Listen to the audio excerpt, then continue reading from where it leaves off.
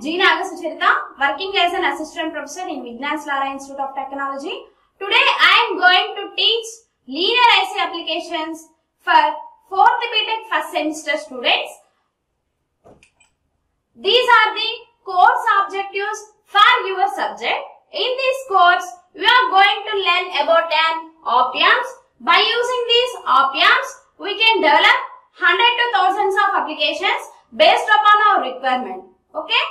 These are the course objectives. By using these op-amps, we can design an applications based upon our requirement. By using an filters, we are going to design an various op-amps. And differential, by using an differential amplifiers, we are going to design op-amps based upon our requirement. Okay? These are the course objectives we are going to learn. These are the outcomes for designing of an op-amps. We are going to learn various applications based on op-amps. Okay?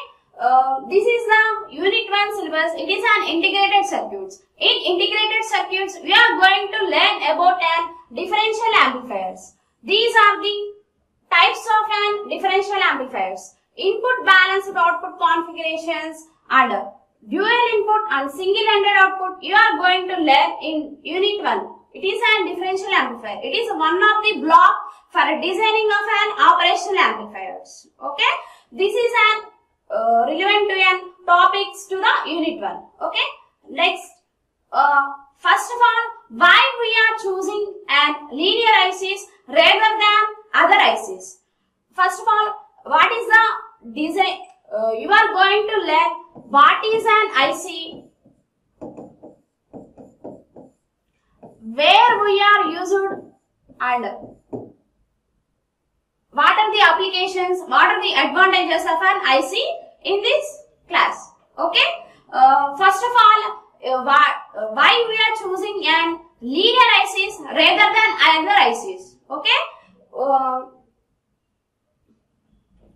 in designing of an electronic circuits, we are going to choose lot of electronic components like resistors,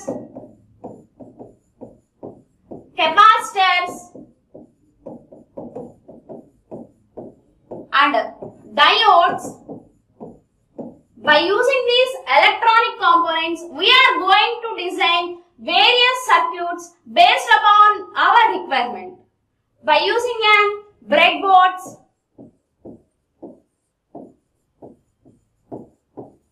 and connecting wires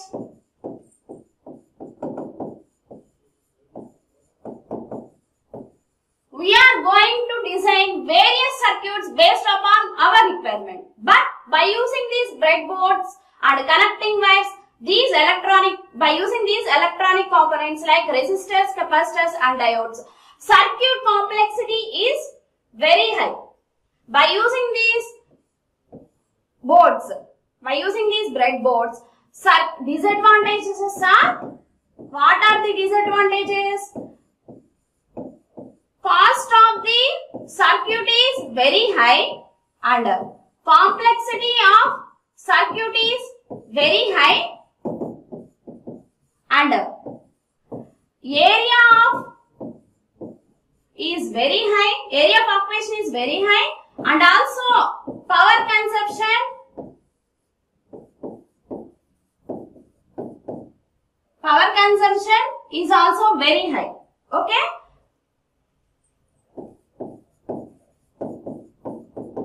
By avoiding these disadvantages for designing of an circuits, we are choosing the technology which is called as an linear IC technology. Linear IC technology. Okay students? In linear IC technology, we are fabricating all electronic components like resistors, capacitors and diodes.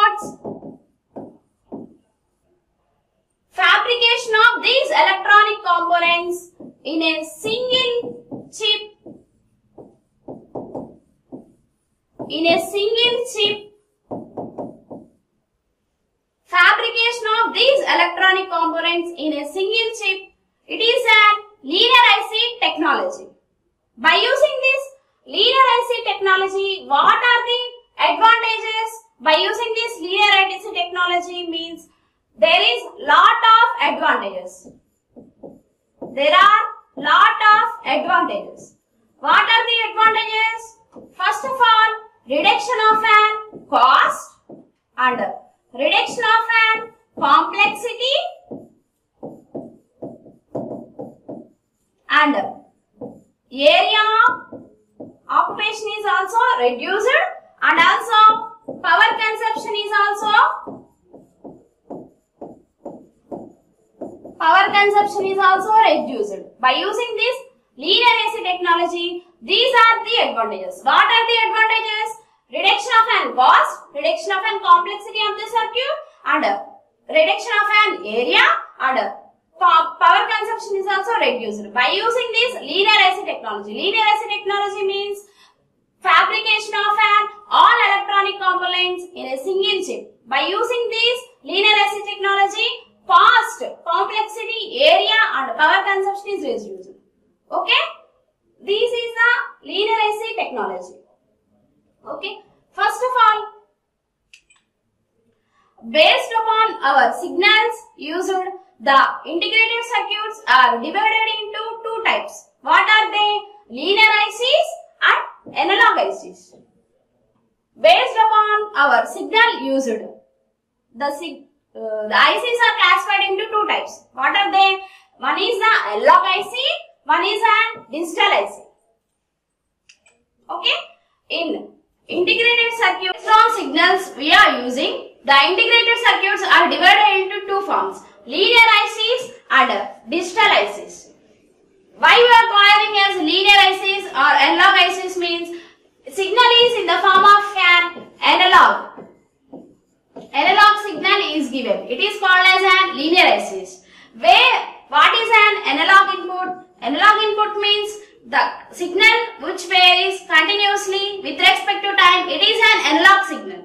Example of analog signal where we are using analog signal in landlines we are using an analog signal as an input now that is very uh, continuously varying of a signal it is an linear IC signals okay examples of a linear IC signal is an op amp power amplifiers and multipliers comparators and voltage regulators. In your subject you are going to learn about an op amp op amp is a linear IC for this op amp we are going to give a signal as an analog form. Okay? Op amp means operation, operational amplifier. Coming to an digital IC. In digital ICs, digital signal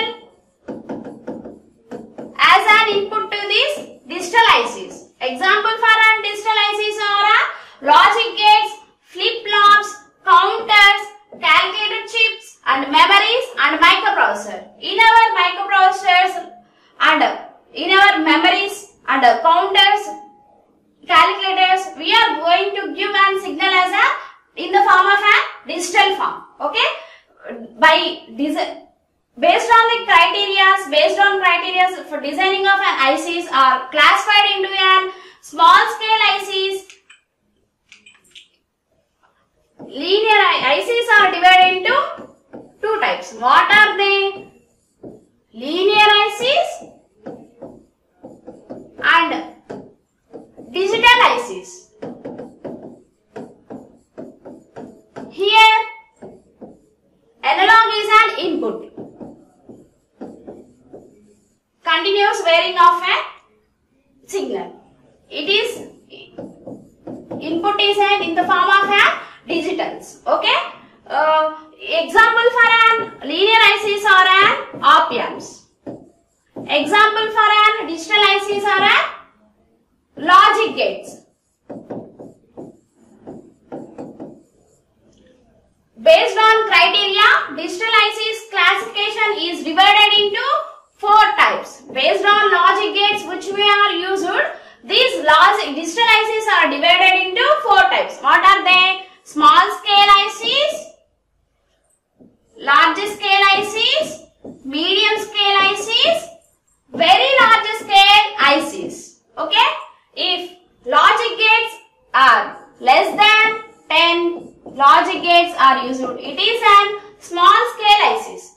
Less than 100 logic gates we are using, this is an medium scale ICs. Less than 1000 logic gates are used, it is an large scale ICs. Greater than 1000 logic gates are used, these are very large scale ICs. Okay? Uh, students, we are going to, you are going to uh, learn about an linear IC technology in this course. What is an linear IC technology? We we are giving an analog as an input. It is a linear IC technology. In this operational amplifier, you are going to design an operational amplifier by using an differential amplifier. By using an differential amplifier block, we are going to design op amps. By using these op amps, we are going to design various hundred to thousands of applications. Hundred to thousands of applications we are going to design by using an op amps. It is an like uh, 741 IC, call it as an 741 IC. Okay, you are going to design various applications based upon our requirement by using an op amps. First of all, uh, uh, differential amplifier we are going to design. In unit 1, we are going to design differential amplifiers. What are the types of an differential amplifiers and what are the advantages? What are the features of an differential amplifiers? In unit 1, we are going to uh, learn about an what are the types of an differential amplifiers, what are the classifications of an differential amplifiers, characteristics of differential amplifiers, what are the features of an differential amplifiers in unit 1. In this course, you are going to learn only about an linear ICs, not an digital ICs. Okay?